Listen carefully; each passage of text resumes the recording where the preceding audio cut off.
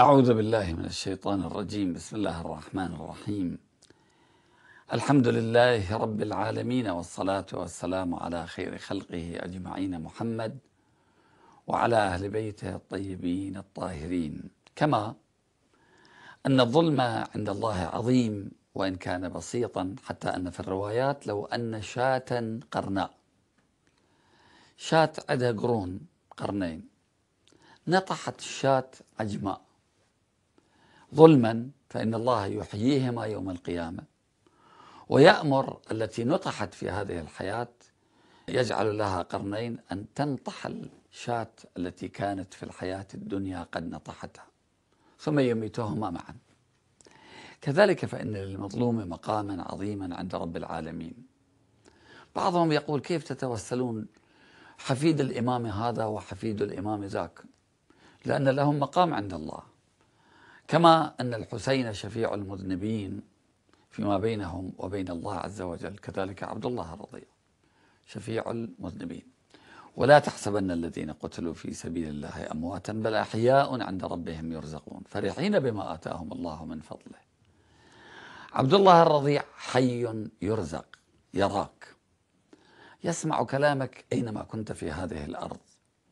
يسمع توسلك إلى الله به يطلب من الله لك أن يستجاب دعائك عبد الله الرضيع سلام الله عليه عظيم من عظماء التاريخ البشري ونحن نفتخر به ونعتبره عبرة وعبرة واعتبار ونعتبره من الشهداء الكبار لأنه كان صغيرا. انظروا الله يريد منا بذل جهودنا لا يريد منا إنجازات. يعني أنت تبذل ما في مقدورك رب العالمين يعطيك الكثير. من عنده مئة دينار الله يطلب من عنده عشرين دينار. خمس. اللي عنده مئة مليار يطلب من عنده عشرين مليار.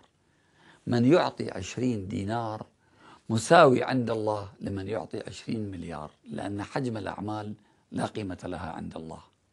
ما عندك ما عندك من القوة والقدرة ما تبذله من الجهد رب العالمين يعطيك عليه الأجر والثواب. تبكي على الحسين بمقدارك. العجائز في البيوت لا تستطيع أن تقوم بالشيء نصرة للدين ونصرة للحسين لكنهن يسمعن مصيبة الحسين ويبكين. رب العالمين يعطيهم الجزاء الأوفى. لأنهم بذلوا ما بمقدورهم. علينا أن نبذل بمقدار ما نستطيع. فإذا فعلنا ذلك فرب العالمين يقدر ولا يضيع عمل عامل منا.